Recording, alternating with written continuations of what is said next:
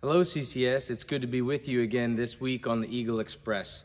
I apologize that this week's Eagle Express came a little bit later than we anticipated. We've been trying to get together a highlight video of the playoffs for you, uh, but that's just not going to come together this week, so we'll have to put that into a future edition. But I want to just take a few moments and say thank you to all of the people uh, who volunteered uh, both at the playoffs and at the Urban Air event uh, last week. We had an incredibly successful uh, playoffs here at our own gym. It's the first time in our school's history we have been able to host a league playoffs.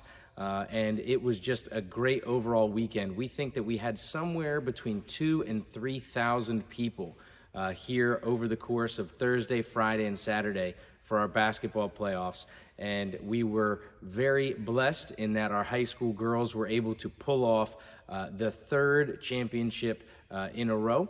And so we're really excited about that. But all of our teams played great in the playoffs last weekend.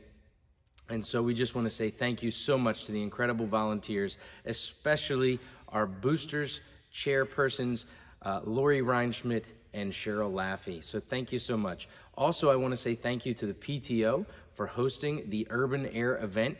Uh, I wasn't able to get down there because I was here at playoffs, but I heard that it was an awesome time, although uh, it was a little bit of a delay to get into the building, uh, from what I understand. But uh, it sounded like we had an, an, incredible night there with a packed house uh, at Urban Air. So thank you so much to the PTO uh, for hosting our 100th day of school celebration and making that possible. So it's just been a great week here at CCS. I'm still getting my voice back. Uh, and I just want to say thank you so much to everybody who works so hard to make our school a great place.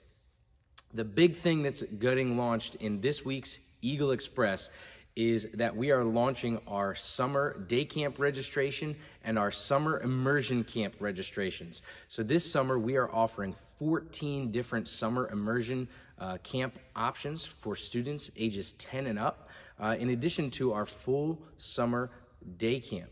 And uh, so, if you are interested in one day or the whole summer or one week, uh, there are options for you and for your children this summer. So, please use the links below, check out what those options are, and get registered soon so that you do not miss out on your space. Thank you so much for being with us this week on the Eagle Express. I look forward to talking to all of you again soon, and I hope you have a great finish to your week.